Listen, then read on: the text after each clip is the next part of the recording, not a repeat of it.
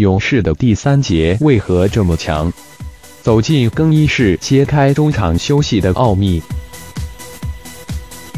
中场休息的时候，Kevin Durant 检查住自己脚踝上的绷带，Zaza Pachulia 换了件新球衣，Draymond Green 则把球鞋脱掉了。这样一来，他能让自己的双脚松快松快，甚至还有些球员在查看他们的手机。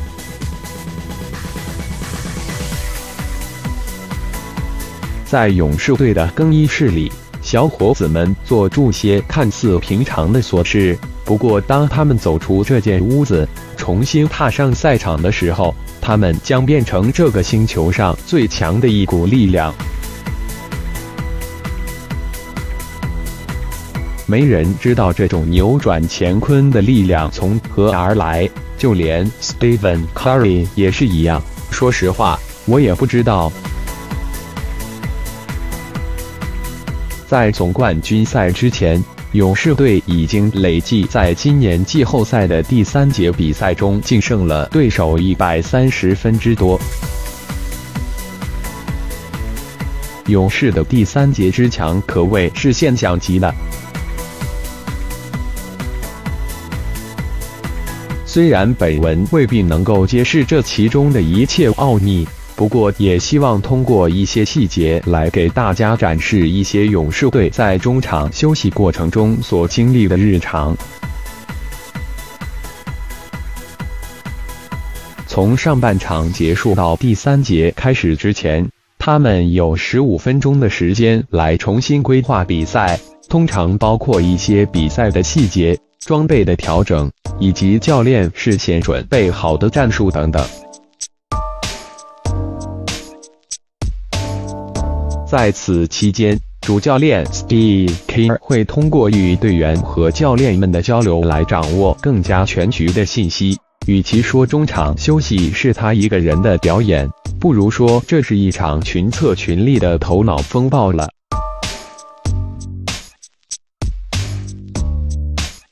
在这里，每个人都是领袖。Persulia 说：“至少你会觉得自己是个领袖。”从跳球开始，勇士队就已经在为中场休息做准备了。助理教练们会将比赛中可能会在半场分析中用到的比赛回合记录下来，并告知坐在球员替补席后面的 Willie Green。后者是一个曾经在联盟中效力过十一年的老将。如今，他也加入了勇士队的助教团队。他会记录下该回合的时间和比分，以供中场休息时查看使用。把这个编辑在案，助理教练们叫道，或者前脆简单的说，剪辑下来。在上半场比赛过程中，时不时的。其他一些工作人员，包括球队分析师塞缪尔·盖尔芬德和力量训练师凯尔·巴博尔，就会将这些回合的记录点告知更衣室里的录像剪辑师詹姆斯·劳克林。他负责将这些片段剪辑出来，存在电脑里。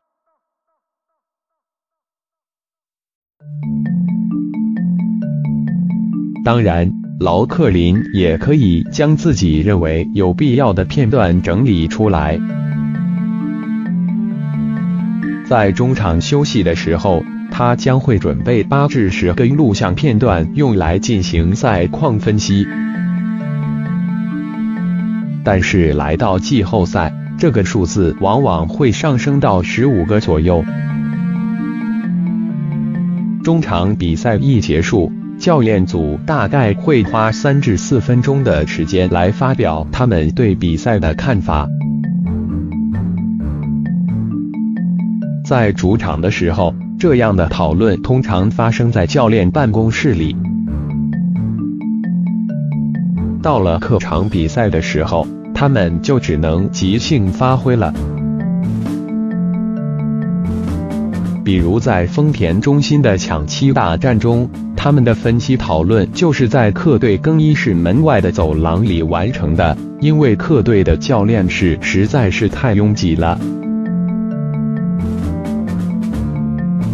助理教练布鲁斯·弗雷泽将这个过程称为智慧收集。Kier 会从他的教练组成员那里得到所有他想要知道的东西。在这个环节中，他的主要工作就是聆听。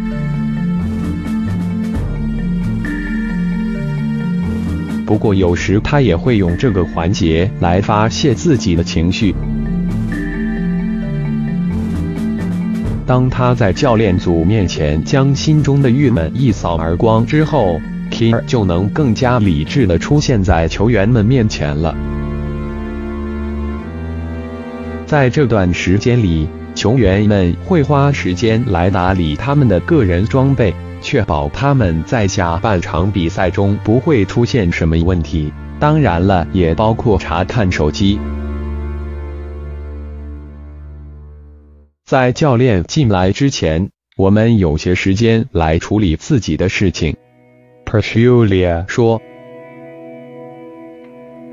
当 k i r 得到了他想要的一切资料之后，他便和其他的教练一起来到球员更衣室。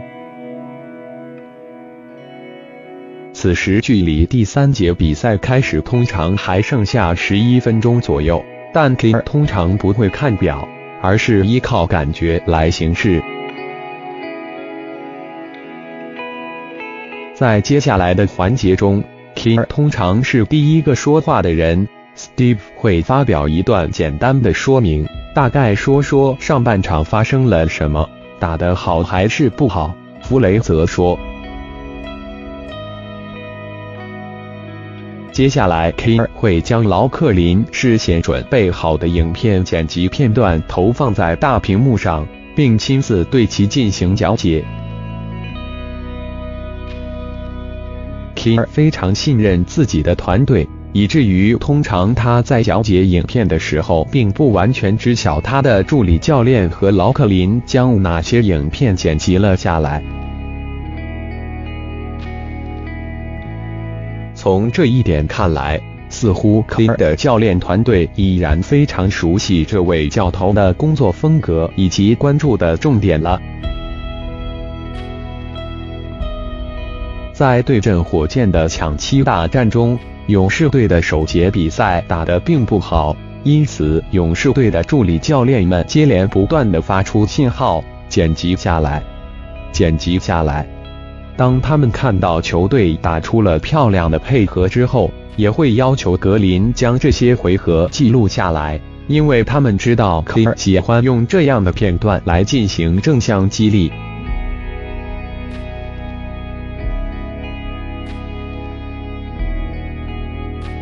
当他在录像分析环节讲起这些的时候，球员们也从中接收到了正面积极的信号。当球传起来的时候，总会有好事发生。而且，不管他们的比赛有多难，他们的表现也比分差体现出来的要强得多。Kir 过去曾经干过电视解说员，从那份工作经历中，他得到了一项特殊的能力，就是整合从助手那里得到大量的信息，然后用通俗易懂的方式表达给自己的队员。布雷则认为，那份经历能帮助他在整理完大量的资料后，还能保持清晰的思路，并最终用简洁的方式表达出来。不过，科尔可不想自己成为更衣室里唯一拥有发言权的人，为此他还专门预留出了给别人说话的时间。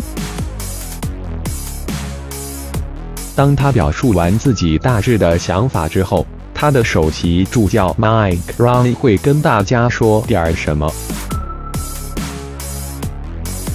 接下来，罗恩、亚当斯、贾伦、科林斯还会补充他们的想法。最后，科尔还希望其他的球员们提出自己的看法。进入季后赛之后，尤为如此。你们还有什么要补充的吗？他通常会问：“你们看出什么问题了吗？”要说 Draymond Green 是球队里最爱说话的人，大家可能一点都不会感到意外。在例行赛的时候，Andre Iguodala 通常不会说太多，但是到了季后赛，他就像开了水闸一般滔滔不绝。最近几个星期，虽然 Iguodala 因伤没有办法上场比赛，不过在场内场外还是为球队做了不少贡献。在半场休息时间，勇士队就像是一个开放的论坛，他的权威仅限于自己的头衔。弗雷泽说：“但我们的球队文化是开放的。”他也是整个团队的一部分，他不希望团队其他成员对他言听计从。Pachulia 在十五年的职业生涯里，曾经为九位不同的教练效力过，但是他却从未经历过比勇士队的更衣室更民主开放的环境。这里对每一个人都是开放的。从球队老大到替补席末端的每一个人都是如此，任何人都有发言权。他说，这也是他们组建球队的方式。如果你发现了什么，说出来。在比赛中，勇士队的进攻策略通常会基于对比赛的阅读和理解，这就意味着他们常常会找出对手的弱点，然后再后发制人。中场休息的时间显然是他们做出矫正的最佳时机。在经过半场比赛之后，你就能看出他们到底打算怎么做了。弗雷泽说。不过，勇士队中场休息时间里最重要的特征当属简洁了。通常会在距离下半场开始前七分钟结束他所有的发言，最晚也不会超过六分钟。他知道球员们还需要回到场上为下半场比赛做热身，这是我们要求他做的。Steve，让我们在比赛开始前六分钟回到场上吧。Julia 说：“他尊重我们的想法，不管上半场我们打得有多么好或者多么差，